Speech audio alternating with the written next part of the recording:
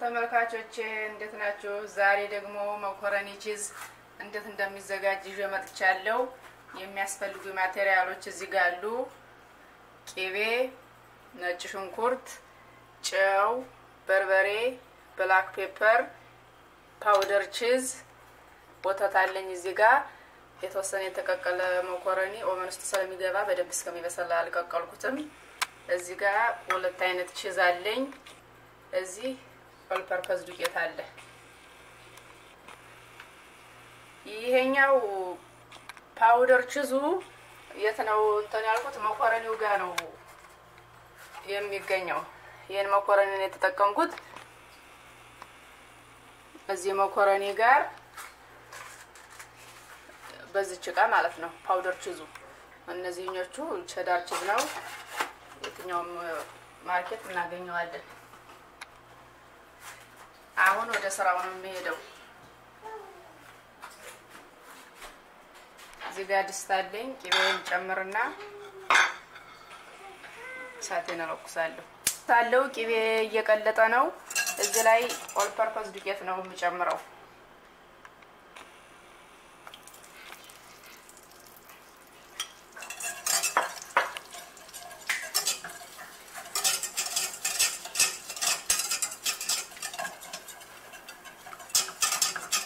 እሳታችን መቀነስ አለብን እንዳያያዝብን።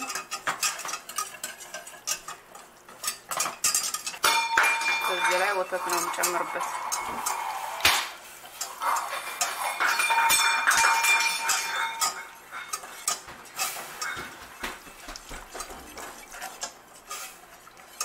ወተቱን እየጨመርን በደንብ ማማሰል አለብን ስለሚያያዝ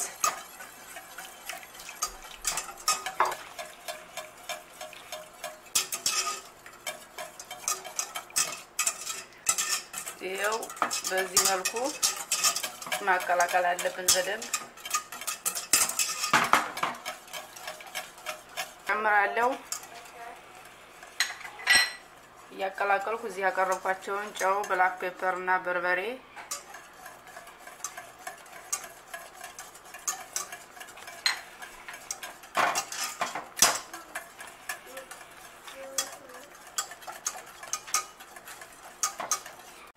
ያቀረብኩትን powder cheese ጨምሬያለሁ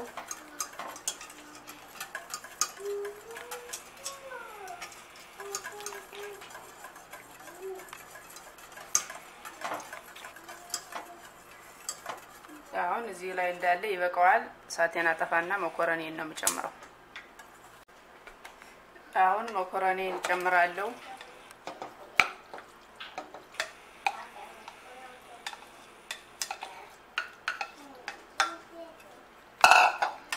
አቀላቅለዋለሁ።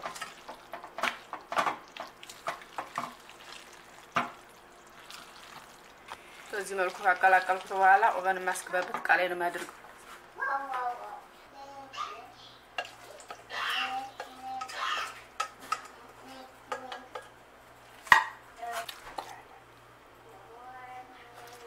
በት እቃ ላይ በዚህ መልኩ አስተካክዬ ጨምሬዋለሁ። አሁን cheese ነው የምጨምርበት።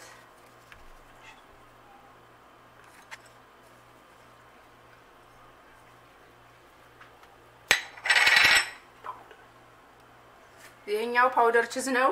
ይሄኛው ነጩን በካሮት መፈቅፈቂያ የፈቀፈቅኩት ነው። ይሄኛው የተፈቀፈቀ ነው። cheddar cheese እና Swiss cheese የሚባለው ማለት ነው።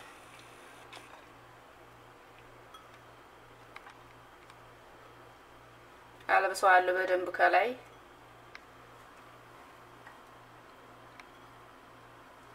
በዚህ መልኩ ካለበስኩት በኋላ ኦቨን ነው የማስገባው።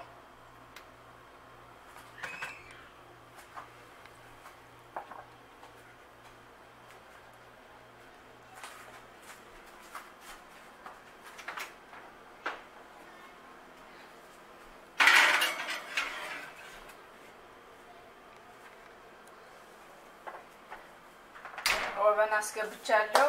350 ዲግሪ ሴንቲግሬድ ላይ አድርገውና 30 ደቂቃ ሰጠዋለሁ።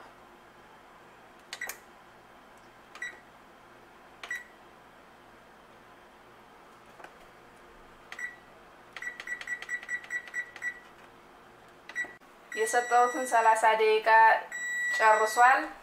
እዚህ እሳቱን አጠፋና ኮፍ አረገዋለሁ። አሁን መኮረኔን አወጣለሁ ማለት ነው።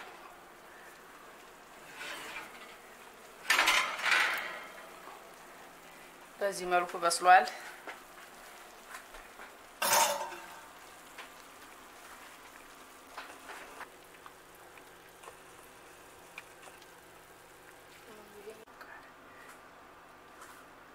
በዚህ መልኩ አብስዬ ጨርሻለሁ።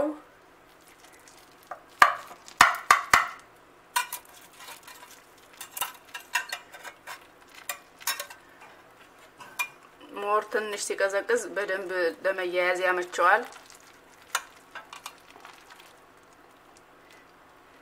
ይኸው እንደምታዩት still ትኩስ ሆኖም ተያይዟል ማለት ነው።